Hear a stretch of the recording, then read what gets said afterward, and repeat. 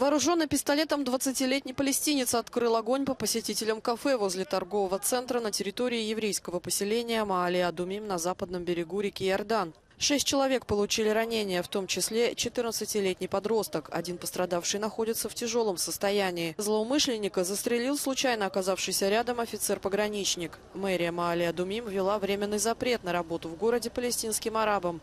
После того, как выяснилось, что напавший на мирных жителей недавно устроился на работу в муниципальные службы.